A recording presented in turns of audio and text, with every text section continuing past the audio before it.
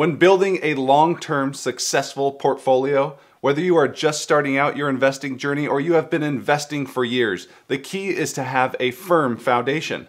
You want your portfolio to be able to have something safe to lean on when things get volatile. And that's where ETFs or exchange traded funds come in. ETFs can be thought of as a basket of stocks. There are thousands of ETF options out there and they come in all shapes and sizes. You have broad-based ETFs that cover an entire market segment or the entire stock market in general. You also have sector-focused ETFs, market cap weighted ETFs, and also specific types of stocks like dividend ETFs. And the list goes on, but in today's video, we are going to look at my top five ETFs for 2023. And with that being said, let's get started.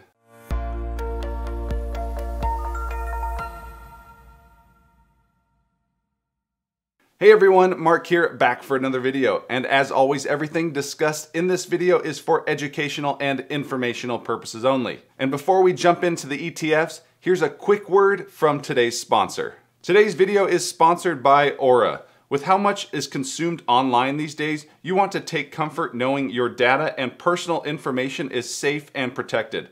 Aura is a one-stop shop as they provide credit monitoring, account tracking, antivirus software, password manager, VPN, and other services. There are many services out there where you can get updated credit scores or other companies that offer antivirus software. But how many places can you find all of this together in one comprehensive place? The FBI reported a 64% increase in financial loss due to digital crime. Do not take this lightly. Cyber criminals are trying everything these days to get their hands on your data. Let Aura help protect you.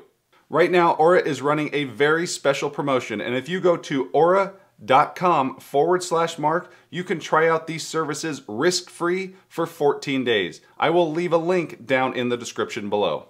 With that being said, let's take a look at five ETFs for 2023. ETF number one should come as no surprise, as that is the Schwab US Dividend ETF, stock ticker SCHD. The Schwab US Dividend ETF is by far my favorite dividend focused ETF and really one of my favorite ETFs overall. They offer a mix of growth potential, a solid dividend yield, and strong dividend growth. Let's first take a look at the makeup of SCHD. The fund is managed by Charles Schwab. It seeks to track the performance of the Dow Jones US Dividend 100 Index. It has an expense ratio of 0.06%, meaning it is a very low-cost ETF. They have 44 billion of assets under management, a dividend yield of 3.4%, and on the year shares of SCHD have fallen 6%. Next, let's see how the fund is built. Looking here, you can see the sector breakdown for SCHD.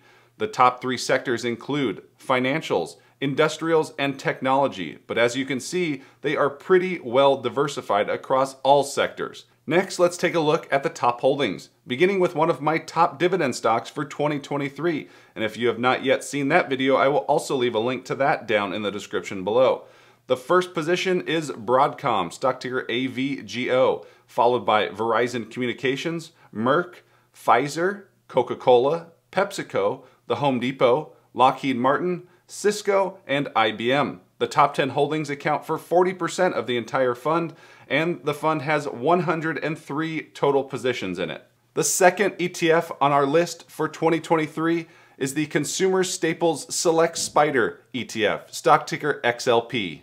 Given that we are headed towards a likely recession in 2023, assuming that we are not already in one, one sector that tends to perform quite well in these times is consumer staples. They are a very defensive sector. Many of these companies that you will find in this fund or in this sector alone are companies that sell items that are of need, regardless of the economic backdrop.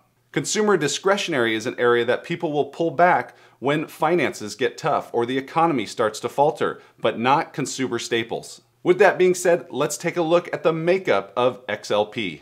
XLP was launched by State Street Global Advisors. The fund seeks to track the performance of the Consumer Staples Select Sector Index and the S&P 500. It has an expense ratio of 0.10%, assets under management of 17 billion, and they have a dividend yield of 2.5%. On the year, XLP is down only 2.5%. The sector breakdown is pretty simple in the fact that the fund only invests in stocks within the consumer staples sector. You can see a small 1% crossover with a healthcare stock. Next, let's take a look at top holdings, which include the likes of Procter & Gamble, PepsiCo, Coca-Cola, Costco, Mondelez, Philip Morris, Walmart, Altria, Colgate, and Estee Lauder. These top 10 holdings account for 69% of the entire fund, and overall, the fund has 34 total holdings. The third ETF for 2023 is the Healthcare Select Spider ETF, stock ticker XLV. Healthcare happens to be another sector that happens to perform quite well in periods of slower economic growth or in recessionary times. We have seen this year alone as the stock market has faltered, there's been a lot of healthcare stocks that investors have moved into their portfolios. And I expect the healthcare sector to continue to be a safe haven in 2023. After all, regardless if you need medical supplies or medical attention, it doesn't really matter what the economic backdrop is. The Healthcare Select Spider ETF is another ETF that was launched and managed by State Street Global Advisors. The fund seeks to track the performance of the Healthcare Select Sector Index. The fund has an expense ratio of 0.10%, assets under management of 42 billion, a dividend yield of 1.5%, and a year-to-date performance of minus 2%. The sector breakdown is also very simple in the fact that the fund only invests in stocks within the healthcare sector. Next, let's take a look at the top holdings, which include United Group, Johnson & Johnson, AbbVie, Eli Lilly, Pfizer, Merck, Thermo Fisher Scientific, Abbott Labs, Danaher, and Bristol Myers Squibb. These top 10 holdings make up 56% of the fund, and the fund overall has 64 total holdings. The fourth ETF for 2023 on our list is the iShares High Dividend ETF, stock ticker HDV. This ETF, similar to that of SCHD, is a very diversified ETF. They don't focus on specific sectors. Instead, they focus on high yielding dividend stocks. HDV was launched by BlackRock and the fund seeks to track the performance of the Morningstar Dividend Yield Focus Index. They have an expense ratio of 0.08%, assets under management of $13 billion, a high dividend yield of 3.6%, and on the year, HDV is actually up 3%. As mentioned, the fund is well diversified among various sectors, with the top sectors being energy, healthcare, technology, and consumer defensive or consumer staples.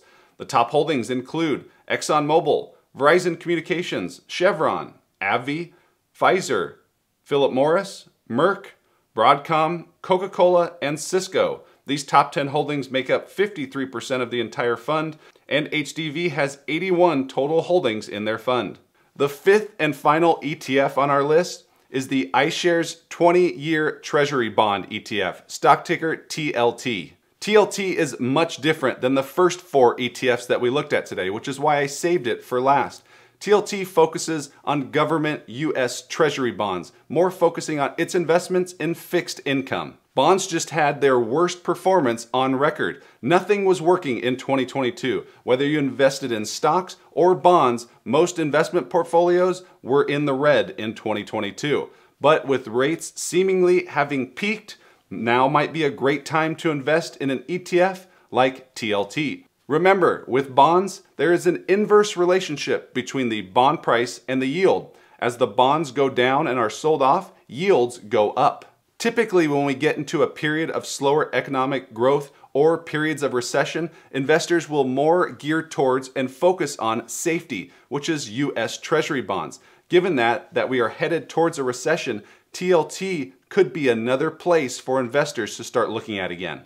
Back in 2008, when we went through the Great Recession, shares of TLT delivered a 34% total return, compared to the S&P 500 dropping 37% during the year. Looking closer here at TLT, you can see they have an expense ratio of 0.15%, assets under management of 27 billion, a yield of 2.7%, and on the year this fund is down 32%. The sector breakdown is pretty simple, showing that the ETF invests only in government bonds. And if we move to the top holdings, you can see that they invest in various US Treasury bonds with different yields. So there we have it, five solid ETFs for you to consider for 2023. You have dividend focused ETFs, You also have consumer staples or healthcare related, both sectors that tend to perform well in a recession. And if you think that yields have peaked, TLT is also a great option to get involved in an ETF that invests more into fixed income.